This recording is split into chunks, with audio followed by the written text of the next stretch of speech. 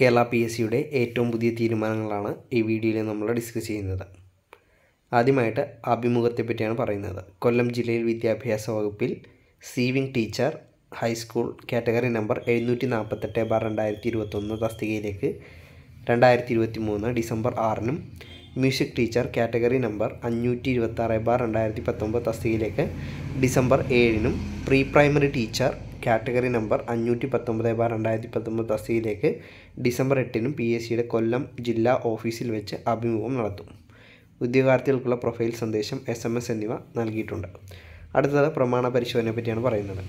ഭവന വകുപ്പിൽ assistant engineer civil category number അഞ്ഞൂറ്റി പതിനാല് ബാർ രണ്ടായിരത്തി ഇരുപത്തിരണ്ട് തസ്തിയിലേക്ക് രണ്ടായിരത്തി ഇരുപത്തി മൂന്ന് ഡിസംബർ ആറ് ഏഴ് തീയതിയിൽ പി എസ് സിയുടെ ആസ്ഥാന ഓഫീസിൽ വെച്ച് പ്രമാണ പരിശോധന നടത്തും.